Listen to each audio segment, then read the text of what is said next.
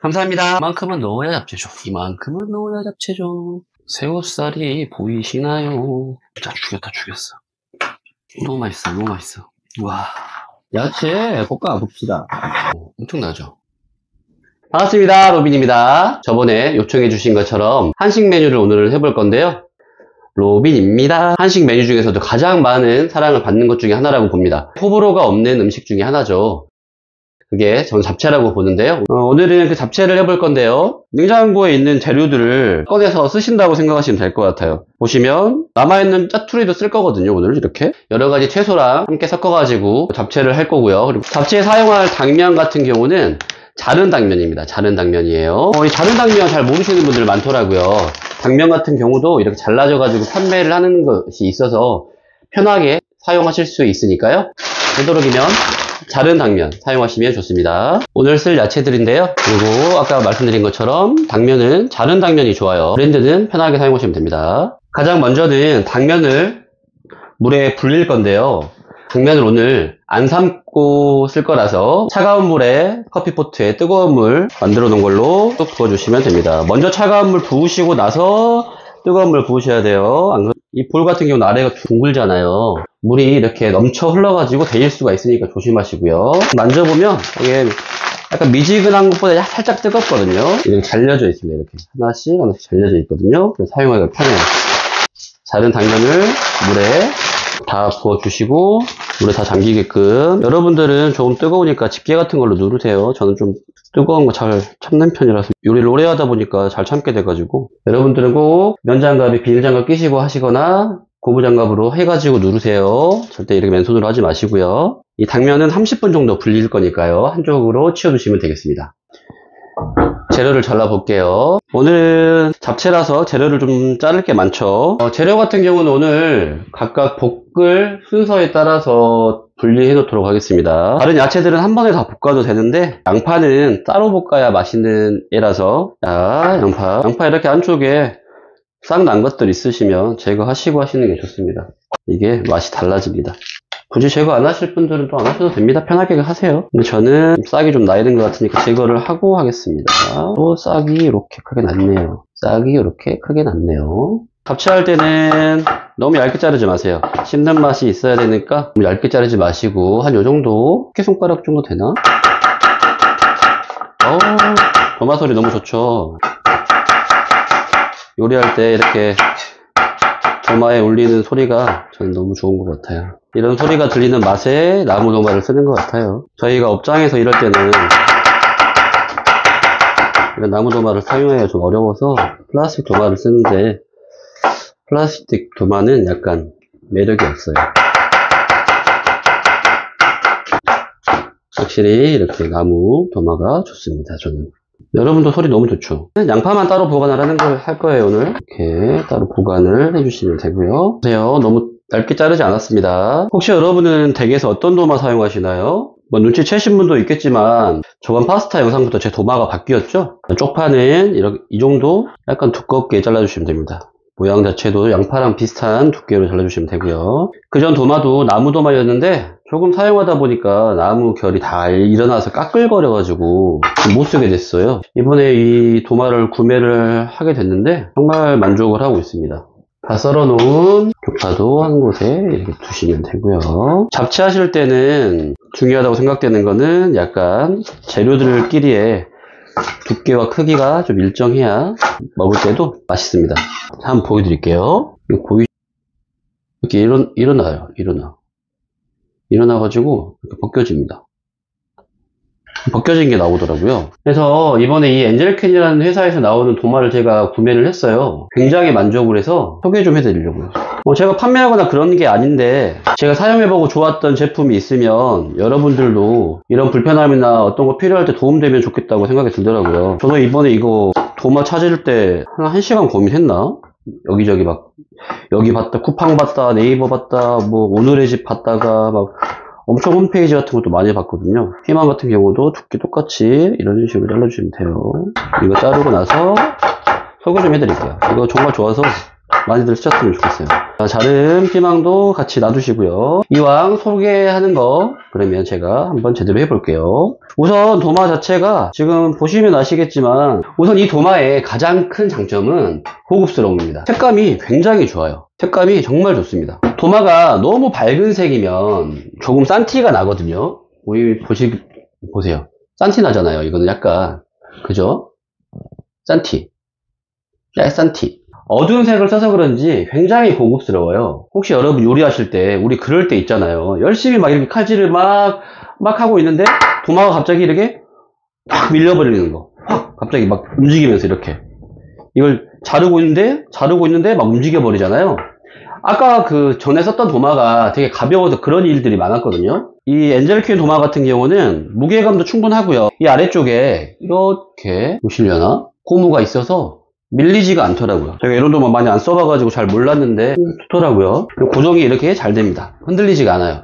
왔다 갔다 움직이고 해- 싶어도 움직일 수가 없어요. 이게 두 번째 장점이에요. 우선 색이 되게 이쁘고 두 번째는 무게감이 있어서 움직이지 않는 거. 저도 도마를 구매하기 전에 굉장히 이것저것 비교해보고 구매를 한 건데요. 아무리 내 주방을 있어 보이게 하고 예쁘게 만들어준다고 해도 너무 비싼 거는 좀 힘들잖아요. 하기가. 근데 이 도마는 정말 이렇게 이쁘고 좋은데 가격이 49,000원대입니다. 엄청납니다. 어, 저희가 처음에 살 때 왜 이렇게 가격이 좋지? 이거 좀안 좋은 건가? 남은 목재 같은 걸로 만든 건가? 생각을 좀 했었는데 그 홈페이지에 들어가 보니까 굉장히 좋은 제품을 사용하고 있는 제품이더라고요. 그리고 검색해 보시면 아시겠지만 정말 말도 안 되게 비싼 도마들도 있어요. 네, 별 차이도 없는데 그냥 자기들이 프리미엄을 받고 싶어서 그런지 몰라도 굉장히 비싸게 받는 데가 있더라고요. 같은 소재고 뭐 별다른 기술 차이도 나지 않을 텐데 말이죠. 뭐 이렇게 제가 나름 감동받으면서 사용하고 있다는 소리였습니다. 이왕 저희가 집에서 요리를 이렇게 한 번씩 하는 거 조금 더 내 마음에 들고 내가 하는 요리라는 이 행동 자체가 좀 더 아름답게 보일 수 있는 것 만족을 줄 수 있다면 저는 좋다고 생각을 하는 입장이라서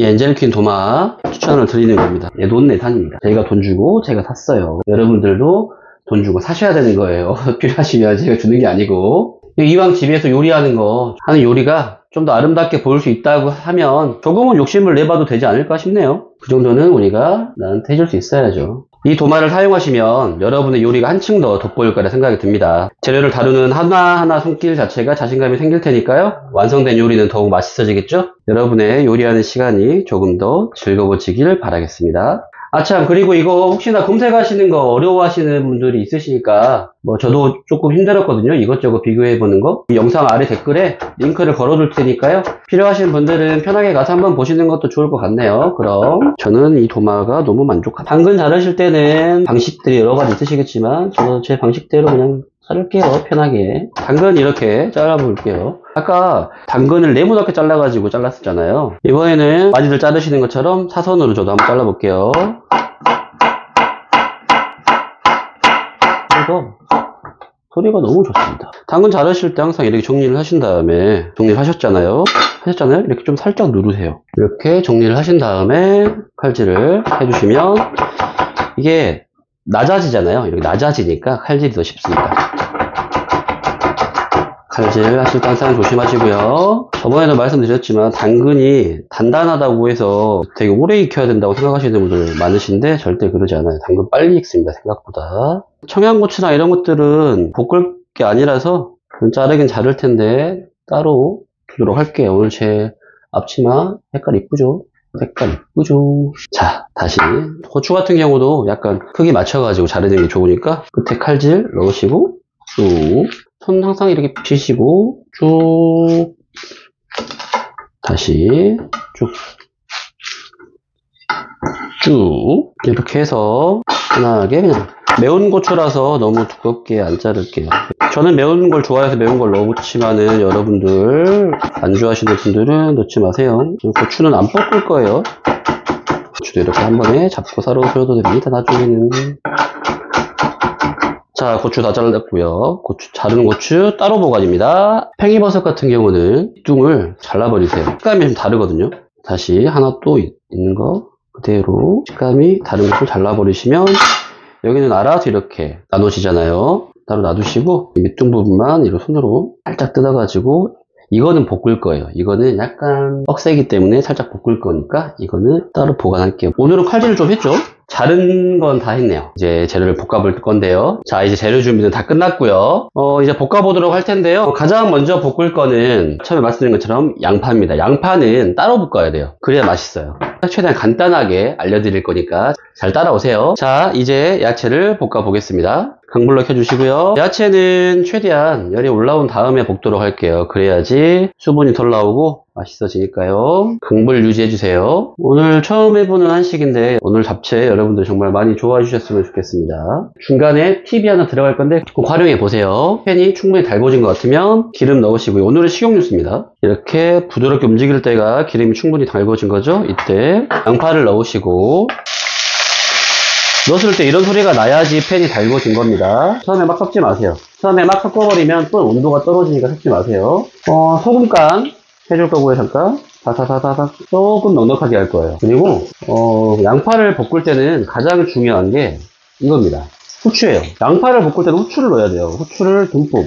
양파가 이 후추랑 같이 볶았을 때 엄청 풍미가 좋은 향이 납니다. 그것도 이제 온도가 올라왔을 때 이렇게 섞어주시고요. 제가 이렇게 막 프라이팬을 막 흔들면 보기 어렵다고 하시는 분들도 있더라고요. 그래서 되도록이면 최대한 이렇게 해드릴게요. 이게 습관이어가지고. 양파는 노릇노릇해질 때까지 익히지 않고요. 살짝 하얀색 빛이 살짝만 가실 때까지만 익힐게요. 단맛이 조금 올라올 때까지만 익힐 겁니다. 자, 이 정도만. 이 정도만. 양파 한쪽으로 빼놓으시고요. 그 다음에 여기 계속 그대로 익힐 거예요. 이 팬에서 다 익힐 거기 때문에 온도가 충분히 올라올 때까지 달궈줘야 돼요. 온도가 낮으면 수분이 너무 많이 나오니까 이 야채에서 충분히 올라온 것 같으니까 다시 식용유 부으시고 아까 당근이랑 쪽파, 피망 다 잘라놨던 것들 있죠. 자, 볶을게요. 이때 처음에 소금간 조금 하시고요. 넉넉하게 해주세요. 소금간 너무 적게 하지 마시고 그리고 여기에 살짝 간장 살짝 간장을 살짝만 이향 내는 거거든요. 살짝만 넣어가지고 볶아주시면 됩니다. 이렇게 이것도 너무 숨이 죽지 않을 정도까지만 볶을 거예요. 자, 야채 볶아 봅시다. 지금 간장에 들어가서 이 간장에 들어가서 굉장히 맛있는 향이 나요. 이번에도 한번 설명드린 것처럼 지금 들어가 있는 재료들 다 단맛이 나는 야채입니다. 설탕 같은 거 따로 안 넣고 이렇게 짠맛만 주는 거예요. 약간 숨이 죽을 정도까지만 익힐 거고요. 자, 이 정도 익혔을 때 꺼내주시고요. 지금 이렇게 네, 돼 있어요. 제가 오늘 고기를 아까 안 보여드렸는데 저는 오늘 고기를 안 넣고 새우살을 넣어서 하는 새우살 잡채를 할 겁니다. 어떤 팬 그대로 새우에는 아무런 간을 하지 않을 거예요. 기름을 살짝만 두르시고 새우살을 넣어 줄게요. 새우살은 최대한 잘 익혀주세요. 날 거니까 새우가 서운해하지 않게 후추 조금만 넣어줄게요. 후추만 후추 좋아하니까 넉넉하게 고기 들어가는 잡채 같은 경우도 맛있는데 가끔씩 이렇게 해산물 넣어가지고 하는 잡채도 만들어 보시면 어, 매력 있으니까 바꿔서 이렇게 한 번씩 해보세요. 맛있어요 이것도. 새우 좋아하시는 분들은 새우 넣어서 잡채도 해보시고 야채만 좋아하시는 분들은 야채를 더 많이 넣어서 해보시고 물이 약간 나오잖아요.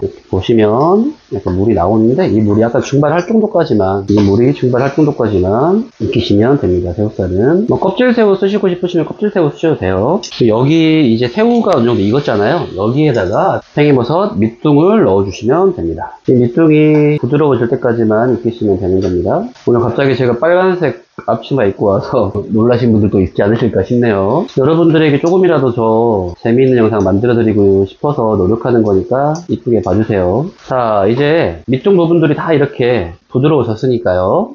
이것도 옆에 빼놓도록 할게요. 이렇게 지금 새우살까지. 우리 당면 아까 불려둔 거 이것만 마무리하면 되는데요. 식용유 5스푼 넣으시면 되고요. 하나 다섯. 오늘 간장은 이거 쓸 거예요. 양조 간장 701 좀 더 풍미가 좋은 701을 쓸 겁니다. 간장 7개. 그래서 그리고 굴소스입니다. 굴소스. 오랜만에 나왔죠 굴소스? 굴소스 한 숟가락 정도 넣으시면 됩니다. 감칠맛을 더해줄 굴소스입니다. 그리고 꼭 들어가야 되는 것 중에 하나가 잡채에서는 설탕이죠. 설탕 2스푼 그리고 여기에 이거, 이거, 이거, 이거 국물의 신이라고 고체 해물 육수인데 이거를 하나 넣어 가지고 면을 졸일 겁니다. 이게 포인트예요. 불을 켜시고요. 여기에 여기에 불려두었던 당면을 넣어 주시고요. 이 재료들이 다 면에 흡수가 될 때까지 졸이도록 하겠습니다. 이때 이 고체 육수가 다 안 녹았지만 요- 고체 육수는 뭐 짠맛을 관여하는 건 아니니까 이때 한번 설탕이 살짝 녹았다 싶을 때 간을 한번 보세요. 혹시 단맛을 좋아하시거나 그러시면 이때 설탕이나 이런 걸 첨가하셔도 되고요. 약간 간간하게 하시면 돼요. 고체 해물 육수가 이게 녹으면서 감칠맛을 충분히 줄 거예요. 간장 처음부터 너무 많이 넣지 마시고 이때 간 보시고 부족하시면 그때 간장을 더 넣으세요. 처음부터 간장 너무 많이 넣어버리시면 간을 낮출 수는 없으니까 면이 서로 잘 붙지 않게 잘 저어주시면서 익혀주시면 되고요. 꼭 짜장면 같기도 하네요. 이렇게 기름하고 간장하고 해서 끓여야 잘 불지 않고 맛있는 면이 됩니다. 면이 약간 볶아진다라는 느낌으로 해주시면 되고요. 거의 다 이제 보시면 네, 이렇게 물이 사라지고 있죠. 이때 아까 마지막에 넣을 거라고 했던 팽이버섯 그리고 고추 넣어서 살짝 한 1, 2분 정도만 불을 끌게요 이제 불을 끄고 여기에 아까 볶아두었던 것들을 다 넣어가지고요.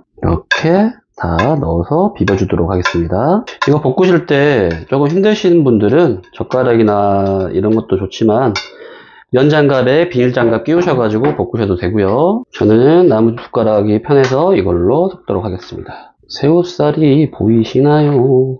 와 정말 맛있겠네요. 향이 너무 좋게 나. 그리고 지금 이제 비비실 때 중요한 참기름 충분히 눌러주세요. 충분히. 잡채는 참기름 맛입니다. 참기름 맛. 그리고 여기에 깨도 조금 넣어가지고 한 번에 깨도 와 너무 많나 싶을 정도로 넣어야 잡채는 맛있어요. 이만큼은 넣어야 잡채죠. 이만큼은 넣어야 잡채죠. 정말 참기름이 와 너무 많이 들어가나 할 정도로 들어, 넣으시는 게 포인트예요. 포인트. 잡채는 참기름 맛. 와 진짜 맛있겠다. 냄새가 음, 음 너무 맛있어. 너무 맛있어. 와 진짜 죽였다 죽였어. 면도 한번 먹어볼게요, 저. 음, 면도 너무 맛있어요. 아까 해물 육수가 들어가서 진짜 그 새우랑 너무 딱 어울리는 면이 됐어요, 지금 맛 자체가. 설탕 같은 거 더 추가하고 싶으신 분들은 추가하셔도 되는데, 저는 이 야채들이 단맛이 충분하기 때문에 되도록이면 고나지는, 고나지는 않습니다. 너무 잘 비벼졌죠, 지금? 와, 이거 드셔보셔야 되는데, 정말. 너무 맛있는데.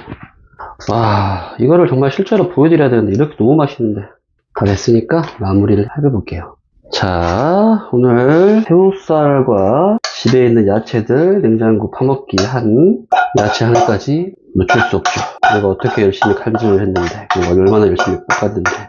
와, 그리고 이게 이렇게 드셔도 지금 오, 엄청나죠? 여러분, 이렇게 드셔도 맛있거든요? 여기에 제가 비장의 포인트를 하나 저희 어머니에게 배운 건데요. 깨 있죠, 깨. 깨를 이렇게 해서 어, 얘또 뭐 하나 싶으시죠? 이거를 가는 겁니다. 깨를 갈아 가지고 깨소금을 만들어야 돼요. 바바바바바바. 와, 고소한 향이 올라왔어요, 지금. 깨를 깨소금으로 만들어서 여기다가 뿌려주세요. 이렇게. 이거 엄청납니다. 이렇게, 이렇게 먹으면. 대단해. 마지막에 또 깨도 같이. 이거 보십시오, 여러분. 이거 보세요. 와, 오늘 너무 맛있게 만들어 본 깨소금 꼭 해가지고 드셔보세요. 이거 진짜 맛있어요. 깨소금을 꼭 추천합니다. 네, 오늘 이렇게 맛있게 만들어 본 잡채 어떠셨나요? 음, 생각보다 크게 어려운 건 없죠. 칼질만 좀 시간이 든 것 뿐이지 볶거나 하는 시간들은 한 10분 정도밖에 걸리지 않았는데요. 생각보다 굉장히 맛있으니까 이거 꼭 따라해 보셨으면 좋겠고 오늘 놓치지 마셔야 될 부분 아까 해물 육수 쓰는 거 그리고 깨 가는 거 그리고 참기름까지 참기름 듬뿍 넣는 거 꼭 잊지 마시고요. 평상시에 고기만 넣고 잡채를 만들어 보셨으면 오늘 새우살 넣고 한 잡채 한번 꼭 한번 해보십시오. 그리고 좀 특이하게 쪽파가 쪽파가 들어갔죠. 쪽파랑 팽이버섯 들어갔는데 쪽파랑 팽이버섯도 굉장히 맛있으니까 꼭 한번 따라해 보셨으면 좋겠습니다. 오늘 영상이 도움되셨다면 구독과 좋아요, 알림 설정까지 부탁드리겠습니다. 항상 행복하시고요. 오늘도 건강한 하루 되십시오. 감사합니다.